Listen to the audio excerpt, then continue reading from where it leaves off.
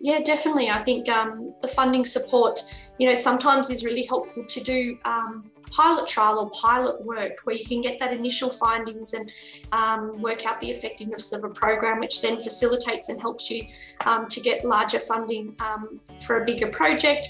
Um, it allows us to be able to support the community um, in evaluating their programs and, and, seeing that they work and, and allowing those programs to, to continue to develop and prosper in our communities.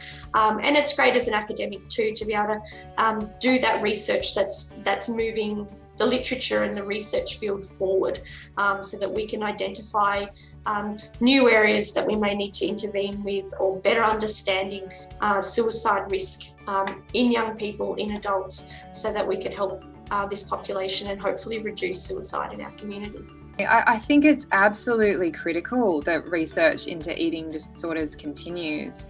Um, while our understanding of eating disorders has improved a lot, there's still so much work to do in terms of translating this into effective treatment options. And I think just because oxytocin nasal spray wasn't the answer for us in this instance, it doesn't mean that we should give up on trying to find more effective treatment options.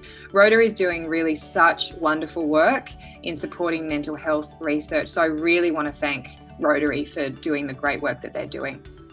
Well, I think it goes without saying that I would not have been able to finish my PhD um, and all of the projects associated with it without the support from Australian Rotary Health.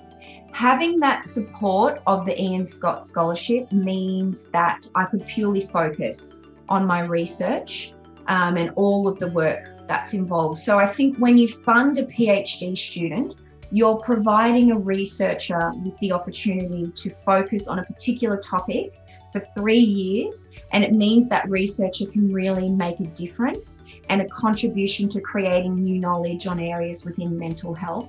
And basically that's how we how we progress and how we improve things. Um, so yeah, it's it's it, it, it's absolutely been um, you know fundamental to my success as a PhD student.